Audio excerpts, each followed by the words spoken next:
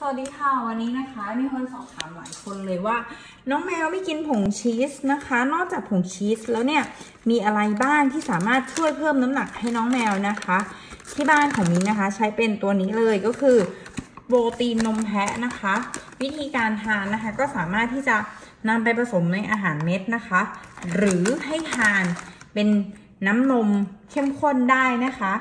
ถามว่าผสมยังไงก็ผสมกับน้ำอุ่นนะคะ แบบนี้นะคะง่ายๆนะคะ ถ้าเราต้องการที่จะไปผสมในอาหารเม็ดนะคะ ก็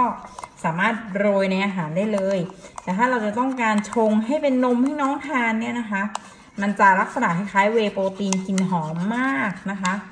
กลิ่นหอมทานง่าย แล้วก็ช่วยเพิ่มน้ำหนักไม่เพิ่มไขมันนะคะ เพิ่มกล้ามเนื้อให้กับน้องด้วยนะคะ ใช้น้ำอุ่นนะคะชง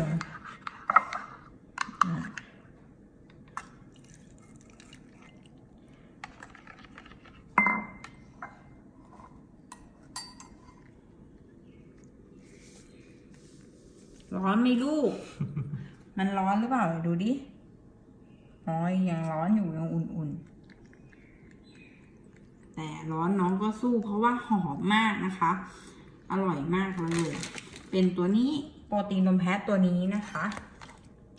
อากินต่อได้ครับไม่กวนแล้วครับ เห็นไหมคะ ถ้าสังเกตบริเวณในตัวเนื้อน้ำนมเนี่ยจะมีเขาเรียกว่า น้ำนมสีเหลืองหรือว่าน้ำนมแรกคลอดของ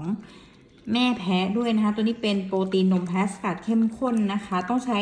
น้ำนมแพะถึง 40 ลิตร ถึงจะได้ปริมาณ ตัวโปรตีนนมแพะ 1 กิโลกรัมนะคะ ถ้าท่านใดสนใจนะคะ สามารถแอดไลน์ได้นะคะที่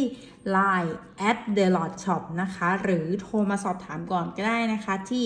0968836158 ค่ะสำหรับวันนี้ลาไปก่อน สวัสดีค่ะ